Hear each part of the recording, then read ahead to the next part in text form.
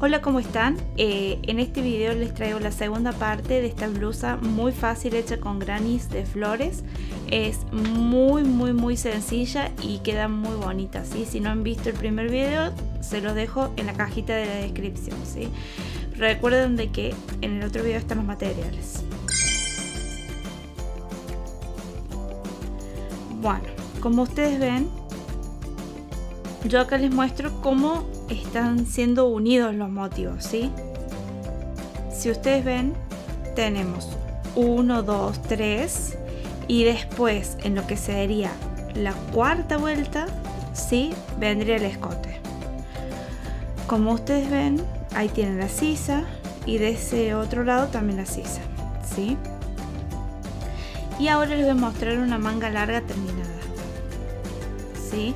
Recuerden de que les voy a dejar varios modelos en el blog, ¿sí? Entonces ahí les muestro cómo iría pegada la manga. Ahí se ve bien cómo va pegada, ¿sí?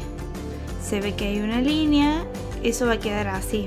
Me, me gusta cómo se forma esa línea y creo que entalla mejor. Ahí ven bien. Ahí tienen que coser esas dos partes, esos dos, y ahí hay que coser la manga cerrándola. Del otro lado hacen lo mismo, ¿sí? De esa forma queda una línea. Eh, como ustedes van a ver en el cuadro, ¿sí? Eh, tiene que hacer eh, medio y medio para hacer uno completo, ¿sí? Recuerden ver el cuadro de cómo unir los granis, ¿sí? Después vamos a hacerle un borde para que quede bien, bien terminado. Como ustedes ven este sería el borde inferior en algún punto que ustedes quieran ¿sí? van a entrar el hilo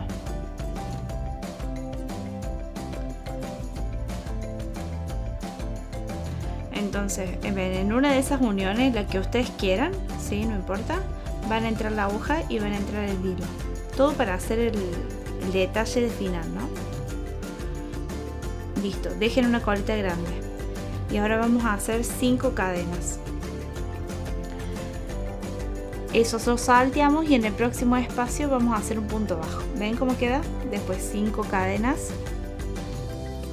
En próximo espacio un punto bajo. Ven otra vez 5 eh... si ustedes ven que les queda ahí apretado hagan 6 ¿sí?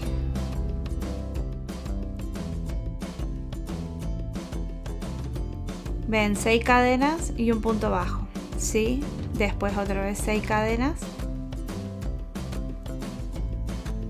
un punto bajo en el próximo montañita y así van haciendo esos arquitos ¿sí? hasta que completen la vuelta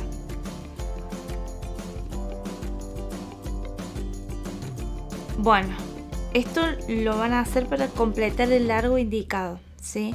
Si una persona tiene barriga, sí o sí van a tener que hacer más vueltas, ¿sí? Eh, ahí hacen un punto bajo. Bueno, y así hay que irlo haciendo, ¿sí?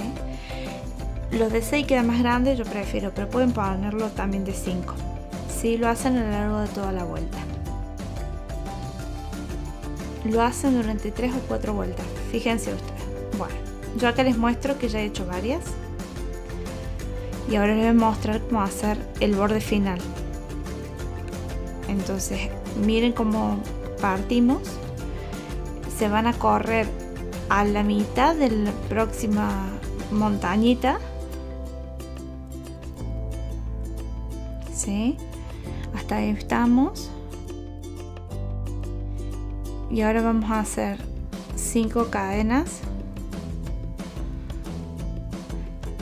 una más 6 y hacemos un punto bajo en el próximo espacio. En el próximo espacio, sin hacer nada, vamos a hacer una vareta. Hacemos una cadena, otra vareta.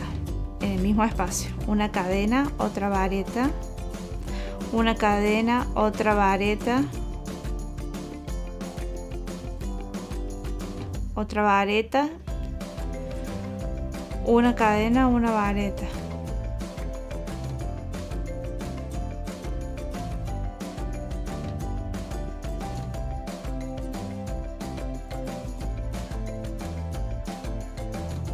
Y ahí en el próximo espacio hacen un punto bajo. Después vuelven a hacer las 6 cadenas y en el próximo espacio hacen un punto bajo. ¿sí? Ahora vamos a repetir lo mismo vamos a hacer una vareta una cadena una vareta una cadena una vareta una cadena una vareta una cadena. Y así hasta que tengamos 6 ¿sí? fíjense ahí tenemos 5 entonces ahora ya está listo. En el próximo espacio hacemos un punto bajo y después hacemos 5 o 6 recuerden siempre ustedes hagan lo mismo ¿sí? 6 va a quedar más amplio. Bueno ya estamos. Ahora lo que vamos a hacer es corrernos a partir de ahí a la mitad de la próxima montañita.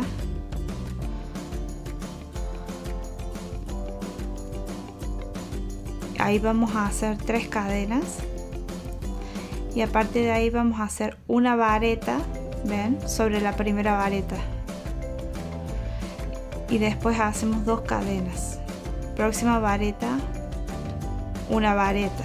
Después otra vez dos cadenas y una vareta sobre la vareta anterior. Y así van a ir repitiendo si hacen varetas separadas por dos cadenas.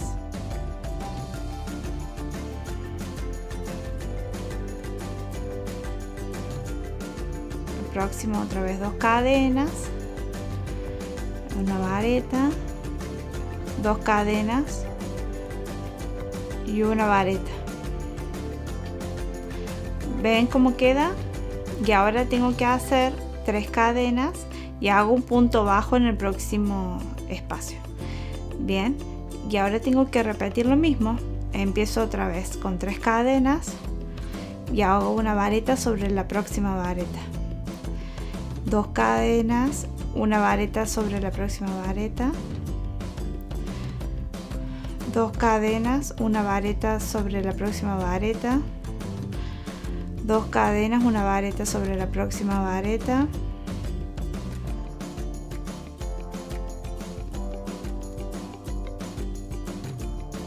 y repito así, ¿sí? Es bien fácil, tienen que hacer siempre lo mismo. Hacemos la vareta dos cadenas. La última vareta y después hacemos un punto bajo perdón hacemos tres cadenas un punto bajo. Y eso hay que repetirlo ¿sí? hasta que vuelvan a empezar. Como ustedes ven acá yo ya terminé ¿sí? ahora lo que vamos a hacer es el borde. Subimos con una cadena y vamos a hacer una cadena por cada una de las cadenas que hicimos antes. Entonces hacemos dos tres un punto bajo sobre la vareta y ahí hacemos un picot o sea de tres cadenas listo picot. Ahí hacemos dos medios puntos. Y después sobre la vareta hacemos un medio punto y un picot.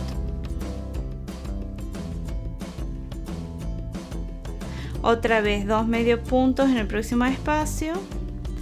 Un medio punto ¿sí? y un picot ahora cerramos el picot y hacemos otra vez dos medios puntos.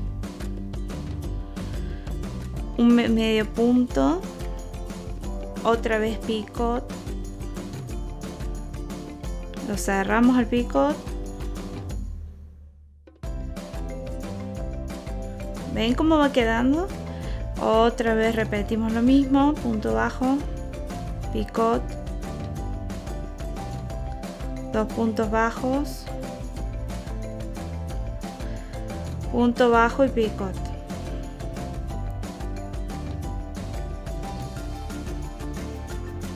Después hacemos dos puntos bajos en el próximo espacio y ya habríamos terminado. Sí, serían tres puntos bajos porque son las tres cadenas y tres puntos bajos del otro lado. Bueno, y ahora van a repetir todo lo mismo, ¿ven? Les va a quedar así ese borde para que quede más firme el tejido.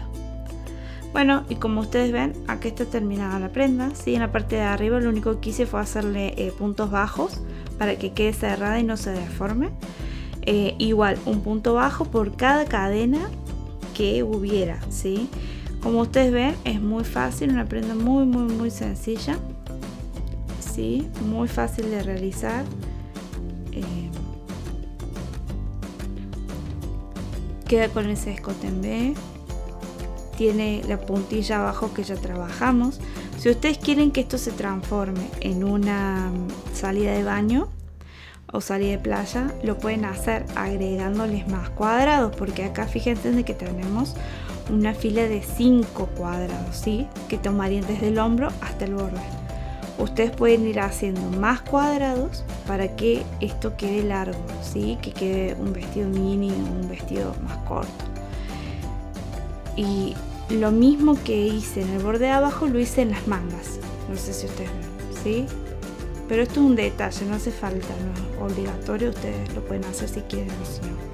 Como ustedes ven arriba, se ve bien ahí de que le hice una fila de medios puntos y cada tanto, cada una serie de medios puntos le puse un picot para que quedara más lindo, así como una especie de distinción, un detalle.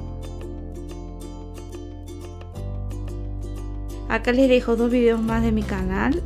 recuerden suscribirse. Cualquier duda que tengan me pueden dejar un mensaje. Y bueno, espero que se animen a hacer esta prenda. Nos vemos en el próximo video.